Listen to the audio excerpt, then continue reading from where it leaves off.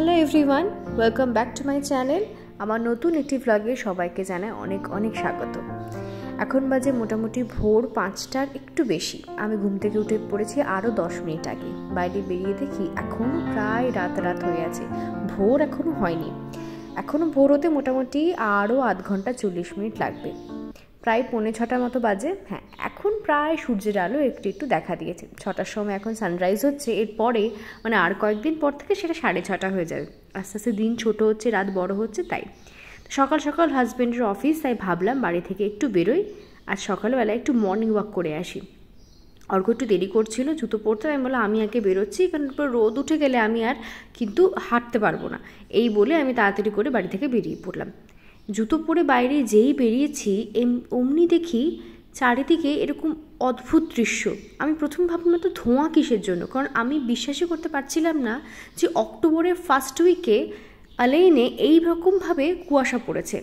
কারণ এটা পুরোপুরি আনএক্সপেক্টেড অনেক সময় এরকম কুয়াশা পড়ে, কিন্তু এইরকম কুয়াশা যে বাড়ির বাইরে বেরিয়ে দেখছি পুরোটা ঢেকে গেছে মানে সামান্য সামনে মানে পাঁচ মিটার দূরত্বে কি আছে কিচ্ছু দেখা যাচ্ছে না। এরকম কিন্তু আগে কখনো আমি অন্তত ফেস করিনি। অনেকে হয়তো ফেস করতেই পারে। আর কি বলব? সত্যি কথা বলতে একদম অদ্ভুত এক্সপিরিয়েন্স এরকম মানে একদম সাদা। সকালবেলা প্রায় মোটামুটি কটা? ছটা দশ পাঁচ দশ বাজে। স্কুল বাসগুলো অলরেডি বেরিয়ে গেছে বাচ্চাদের পিক আপ করার জন্য। ট্যাক্সি নর্মাল গাড়ি ঘোড়া সবই চলছে। কিন্তু কিচ্ছু দেখা যাচ্ছে না। আর এই আমার হাজব্যান্ড প্রায় বেরিয়েছে এখন। আর আমি ওকে বলছি আমি কি করে হাঁটবো? আমি কিচ্ছু দেখতে পাচ্ছি না। তো বলছে এগোতে থাক এগোতে থাক কিচ্ছু হবে না। তো যাই হোক ওইদিকে বেরিয়ে পড়ল। সামনে এক কালিগ আছে তাকে ওখান থেকে পিক আপ করবে তারপর একসাথে চলে আজকে অক্টোবর মাসের ছ তারিখ। আর আমি আমি পুরো সারপ্রাইজড কারণ আমি অনেক এক যুগ পর আজকে হাঁটতে বেরিয়েছি। বেরিয়ে এরকম ভয়ঙ্কর কুয়াশা দেখতে পাবো তা মরুভূমির দেশে আর কি। মানে এটা পুরোপুরি আনএক্সপেক্টেড প্রচণ্ড ঠান্ডাতেও এরকম কুয়াশা আমি খুব একটা দেখতে পাইনি। তবে আজকে জাস্ট অবাক হয়ে গেছি। মানে কিচ্ছু দেখা যাচ্ছে না কিচ্ছু না। গাড়িগুলো যে চলছে, মারাত্মক রিস্ক নিয়ে। যে কোনো মুহূর্তে খারাপ হয়ে যেতে পারে। দেখতে দেখতে আমিও সামনে একদম মেন রোডের কাছে চলে আসলাম এবং এখান থেকেও কিন্তু বেশ কুয়াশা দেখা যাচ্ছে। এখানে অনেকগুলো গাছ আছে, সেই জন্য বোধ হয় কুয়াশাটা খুব একটা বেশি পড়েনি। মানে ওই দিকটা মানে আমাদের গলিটা ঢুকতে ওখানে বাড়িঘর থাকলেও একটু ফাঁকা ফাঁকা যেহেতু, সেই জন্য ওই জায়গাটা পুরো কুয়াশায় ঢেকে গেছে। মানে এমনি টাইমে হলে হলে হয়তো বোঝা যেত না, কিন্তু যেহেতু অফ সিজন মানে এখনও তো ঠান্ডা সেই অর্থে পড়েনি, দিনের বেলায় forty one forty two degree temperature কিন্তু উঠছে। ভোরবেলা বা রাতের বেলা সেটা তিরিশের নিচে নামছে, কখনো আঠাশ, কখনো সাতাশ, ঠিক আছে? কিন্তু সেই অর্থে ঠান্ডা কিন্তু এখনও পড়েনি। কিন্তু যেহেতু সিজন চেঞ্জ হচ্ছে, এখানে কিন্তু সিজন চেঞ্জ হলে এই অক্টোবর মাস, নভেম্বর মাস খুব ফগ হয়। মানে কুয়াশা পড়ে মারাত্মক পরিমাণে। তো আমার সকালবেলায় উঠে এই দৃশ্য থেকে সত্যি একটু অন্যরকম লাগছিল। মানে এটা আমার কাছে সত্যি একটু আনএক্সপেক্টেড কারণ গরম মারাত্মক এখানে তো পড়ে। সেই গরম থেকে হঠাৎ করে ভোরবেলা উঠেছি দেখি চারিদিকে কুয়াশায় ঢেকে গেছে আর বেশ ঠান্ডা ঠান্ডা হালকা হালকা একটা শীতের আমেজ। তাহলে সত্যি কার না ভালো লাগে বলো? তো যাই হোক, তো এইভাবে হাঁটছিলাম একা একাই। আজকে কোনো, আমার হাঁটার পার্টনার নেই সাথে। আর আজকে বললাম যে বহুদিন পর বেরোচ্ছি, কারণ গরমে আমরা হাঁটাটাকে পুরোটাই স্কিপ করে দিয়েছিলাম। একদমই পারছিলাম না, কারণ বাইরে ওয়েদার এতটাই গরম, বাড়ির বাইরে বেরোলেই মনে হতো পুরো স্কিন জ্বালিয়ে দিচ্ছে। আটচল্লিশ, সাতচল্লিশ ডিগ্রি টেম্পারেচার কখনো কখনো পঞ্চাশ, খুব কষ্ট হয় হাঁটতে। আর এই বাসগুলো যে যাচ্ছে, গাড়িগুলো যাচ্ছে লাইটগুলো কিন্তু একদম কাছে আসলে তবেই দেখা যাচ্ছে, না তো কিন্তু দেখা যাচ্ছে না। তো যারা ড্রাইভ করছে, তাদের জন্য কিন্তু খুব রিস্কি তো দেখতে দেখতে মোটামুটি প্রায় তিরিশ পঁয়ত্রিশ মিনিট মতো হাঁটা হয়ে গেল। এখন বাজে প্রায় পৌনে সাতটা। এবার আমি বাড়ির দিকে আবার যাচ্ছি। কারণ বেশিক্ষণ কুয়াশায় আর থাকব না। ঠান্ডা লেগে গেলে আরও বিপদ হতে পারে। তো এখন যখন ফিরছি, এখনও দেখছি কুয়াশা কিন্তু একই রকম আছে। এখনও কিন্তু একটুকু কমেনি। একই রকম সেই ধোঁয়া ধোঁয়া চারিদিক পুরো ঢেকে গেছে এরকম কুয়াশা। ঠিক যেন মনে হচ্ছে কোনো হিল স্টেশনে আছি। আর মেঘের মধ্যে দিয়ে যাচ্ছি। অদ্ভুত একটা ফিলিংস আর মানে যারা এখানে আছে সেদিন প্রত্যেকেই এই সুন্দর স্বর্গীয় দৃশ্য উপভোগ করেছে আমার সাথে সাথে। যাই হোক, বললাম যে প্রায় পৌনে সাতটার মতো বাজে, বাড়ি ফিরে গেছি, প্রায় ছত্রিশ সাঁত্রিশ মিনিট মতো ওয়াক করলাম। এই ঘন কুয়াশার মধ্যে হেঁটেও যে মানুষ ঘামতে পারে, এই হচ্ছে তার নমুনা। যাই হোক, বেশ হাঁটাহাঁটি করলাম, চারিদিকে দেখছি যে বেশ মানুষজন আমার মতো বাইরে বেরিয়ে আছে এবং অনেকের, এখন এই সময়টা অ্যাকচুয়ালি স্কুল বাসের টাইম আর কি পিক আপ করার। তো সমস্ত স্কুল বাসগুলো দেখছি একদম গেটের সামনে এসে বাচ্চাদেরকে নিচ্ছে, এমনি জেনারেলি রাস্তায় দাঁড়িয়ে থাকে ওরা বাট এখন একদম পুরো গেটের সামনে মানে মেন এন্ট্রান্সের কাছে একদম পার্কিংয়ে রেখে বাচ্চাদের তুলছে আর গার্জেনরা রয়েছে। কারণ এতটাই কুয়াশা যে বাচ্চারা রাস্তা তাড়াতাড়ি দৌড়ে দৌড়ে রাস্তা ক্রস করতে গিয়ে কোনো কিছু হতেই পারে, বিপদ হতেই পারে। তো সেই জন্য খুব ভালো ব্যাপার এটা। আর সব মানে বাচ্চাদের স্কুল বাসে তুলতে গিয়ে সেছি সব গার্জেনরা বাইরে দাঁড়িয়ে আছে মানে আমাদের পাড়ার আর কি। সেটা আমি আর ভিডিও করলাম না, ভাববে কি না কি ভাবতে পারে হয়তো। তো সেই জন্য আমি আর করলাম না। কিন্তু সত্যি মানে আমার আজকে সত্যি কোনো আইডিয়া ছিল না যে আজকে এরকম একটা মানে কুয়াশা দেখতে পাবো। অনেকে তো ভাবছে যে কুয়াশা দেখে আমি এত কেন এক্সাইটেড সত্যি এখানে এরকম দৃশ্য খুব একটা দেখতে পাওয়া যায় না। বৃষ্টি দেখেও মানুষ এরকম এক্সাইটেড হয় জন্য এক একদিন যদি খুব ঘন কুয়াশা দেখে মনে হয় যেন অন্য কোনো হিল স্টেশনে চলে এসেছি, ওরকম দেখলেও কিন্তু মানুষ খুব এক্সাইটেড হয়। আর আমি এখন যেহেতু এখানেই আছি বহুদিন থেকে বহুদিন মানে কয়েক দু তিন বছর থেকে। তো সেই জন্য এদের মতো আমিও এখন ছোট ছোট এই কুয়াশা, বৃষ্টি এগুলো দেখলে আমিও এক্সাইটেড হয়ে পড়ছি। যাই হোক আর কি, তবে অক্টোবরে পাঁচ তারিখে এই দৃশ্য আমি জানি না সব জায়গায় দেখা যাবে কি না বাট আমি তো ভাই এখানে দেখতে পেলাম লেনে জানি না, দুবাইতেও হয়তো হবে, রাত্রেবেলায় পরে ফগ সেটা জানি, কিন্তু এখন সকাল সাড়ে ছটা, পৌনে সাতটা মতো বাজে। এখনও যে ফগ রয়েছে এবং সেরকমই জানি না হয়তো আটটা, নটা বাজবে ক্লিয়ার হতে।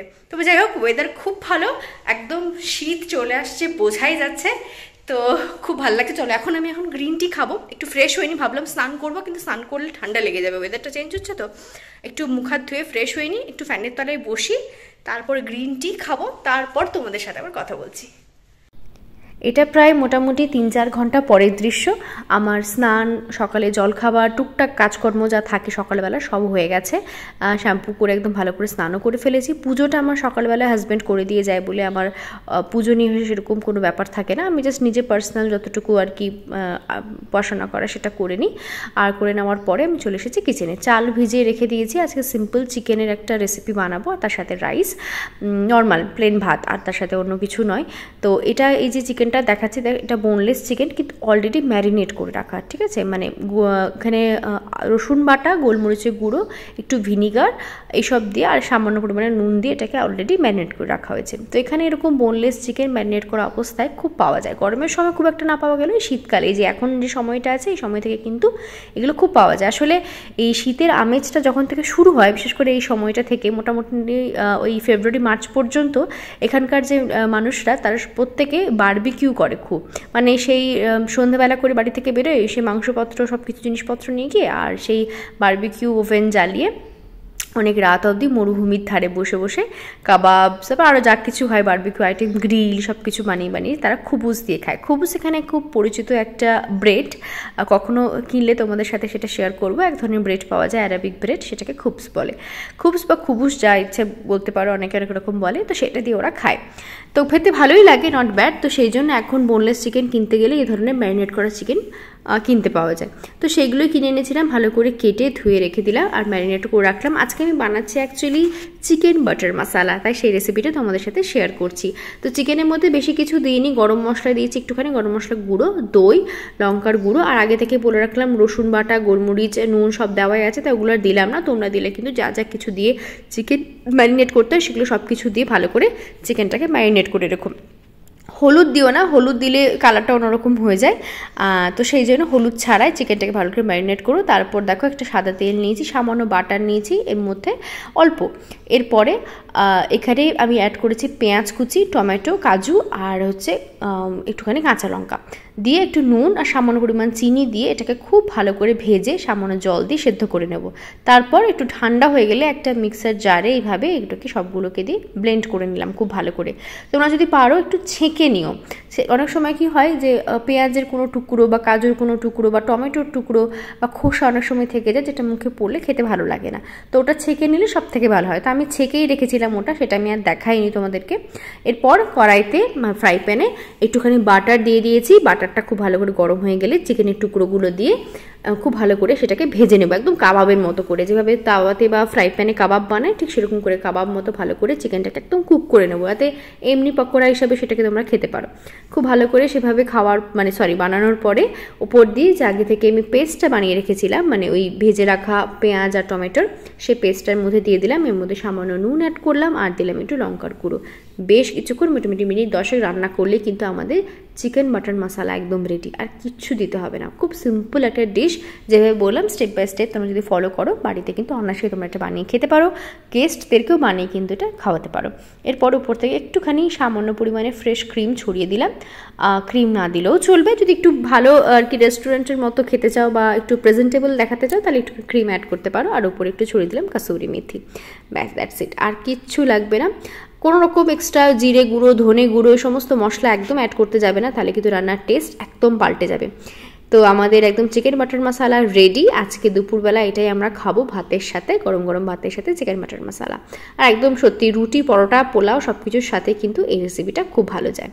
দুপুরবেলা খাওয়া দাওয়ার পরে একটু তাড়াতাড়ি আমরা বেরিয়ে পড়েছি। আজকে কিছু কাজ আছে, যাচ্ছি একটু টাউন সেন্টারে টাউন সেন্টার নিয়ে একটা ভিডিও তোমাদের সাথে আমি পরে ডিটেলসে শেয়ার করব। এই জায়গাটা না মানে আসলে মনে হয় যেন একটা ছোট মিনি ইন্ডিয়াতে চলে এসেছি। মানে এখানে বাংলাদেশি, পাকিস্তানি ইন্ডিয়ান প্রচুর দোকান রয়েছে এবং প্রচুর মানুষও এখানে এই জায়গাটাতে বেশি থাকে অ্যাকচুয়ালি টাউন সেন্টার আমাদের বাড়ি থেকে মোটামুটি দশ পনেরো কিলোমিটার দূরে। আর এখানে সব মানে দোকানপাট অনেক কিছু আছেও, যেটা আমাদের প্রয়োজন ইন্ডিয়ান গ্রসারি স্টোর্স থেকে শুরু করে অনেক কিছু আছে। তো সেখানে এসেছিলাম একটু দরকারি, তো সেই কাজটা করে নিয়ে আবার তাড়াতাড়ি করে বাড়িও ফিরে যাব। তো বাড়ি ফিরে গেছি, বেশ কিছুক্ষণ হলো ফ্রিজে আগে থেকে রাখাই ছিল একটুখানি কালো ছোলার তরকারি। তো ভাবছি রাত্রে রুটি দিয়ে কালো ছোলার তরকারিটা দিয়ে খেয়ে নেব, আর কিছু বানাবো ইচ্ছেও করছে না। তো যাই হোক বন্ধুরা, আজকের ব্লগটা আমি এখানেই শেষ করছি। আশা করব তোমাদের আজকের ভিডিওটা খুব ভালো লেগেছে। কেমন লাগল আমাকে অবশ্যই জানিও। দেখা হবে পরের একটি ভিডিওতে। সবাই খুব ভালো থেকো। টাটা।